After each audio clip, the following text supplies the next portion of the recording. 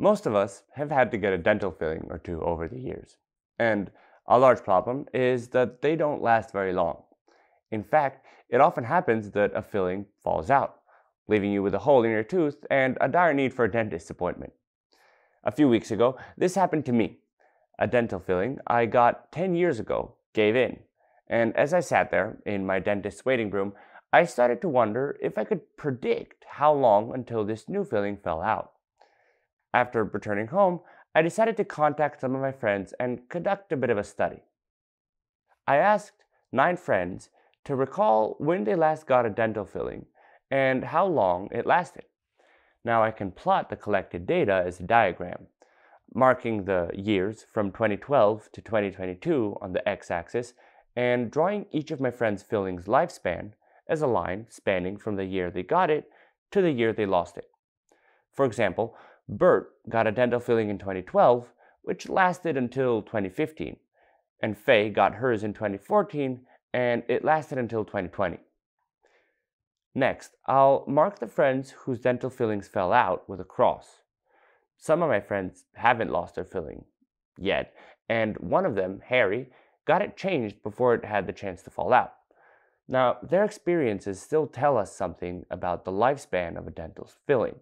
So, instead of discarding this data completely, I'll mark it with a circle. This is what we call censoring. Now, since I'm interested in how much time each dental filling lasted, and not the exact year when it fell out, assuming, of course, that 2007 wasn't a terrible year for dental fillings, I'll adjust the diagram by moving all the lines over to start at the same time of zero. Now let's open Excel and convert this diagram into a table. Also, I want to sort it so that Anthony, who held on to his filling the shortest, is first, and I'm last since I lost my filling after 10 years. Now I can include a column that marks whether the filling ended up falling out or not. I'll fill this column with ones for everyone I marked with an X on the diagram and zeros for everyone I marked with a circle. Now that I've prepared the data in a table, I want to go back to the question that started this whole thing. Can I predict how long until a new dental filling falls out?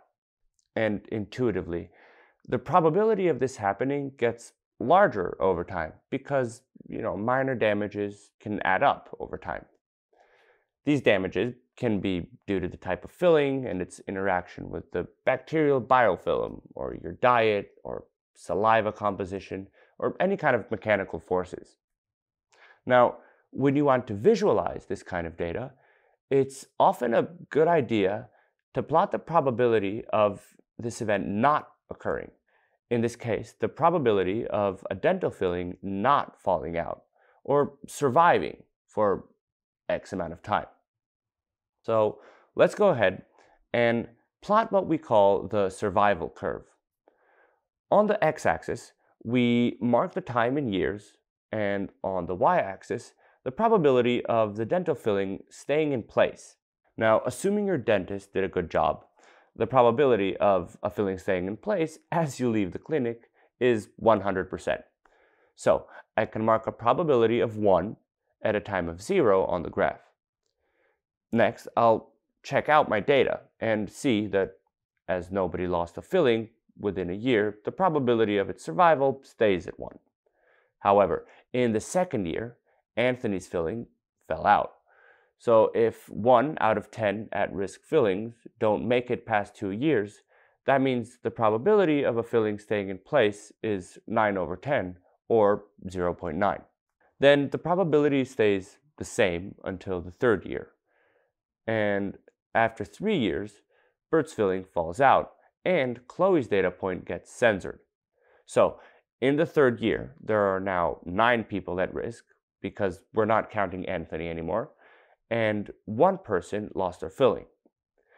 This means the probability of a filling falling out in the third year is 1 over 9, which is the same as saying its chance of survival is 8 over 9.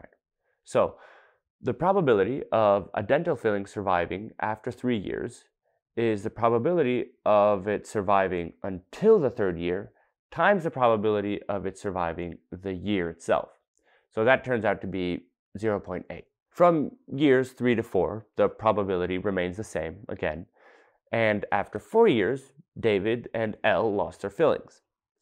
So by now, Anthony and Harry have already lost theirs, and Chloe is no longer at risk either. So there's now seven people at risk. Notice that this is where we actually take into account Chloe's censored data point. Okay, so the survival probability is now the previous 0.8 times the 5 over 7 chance of surviving the fourth year, and that works out to be 0.57. We can continue to make these small calculations and draw the steps until we reach the end of our 10-year observational window. What we get is the graph called the Kaplan-Meier plot, and it's one of the most useful plots in survival analysis. It shows us how the probability of survival changes over time. So for example, if we wanted to know at exactly what time the probability of survival drops to 50%, we can directly read it from the plot.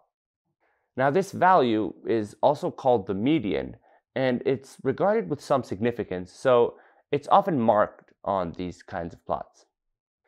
It's now time to check if we can reproduce our manual analysis on a computer. So for this, we will be using Orange, a data mining tool that uses visual programming in the form of data analysis pipelines consisting of interconnected widgets. Now I assume that you've already downloaded and installed Orange, but if not, you can find the link to the Orange homepage below. Or if you're entirely new to Orange, you're welcome to first watch a few of our introductory videos. So, I'll run Orange and install the survival analysis add-on from the list of add-ons available in the options menu. I select survival analysis and click OK, and Orange will reload automatically. Now, let's load our small data set into Orange. I'll use the File widget and load the data from the file we created on our desktop. The time and event columns must be marked as meta features. Now, we can inspect the data in data table.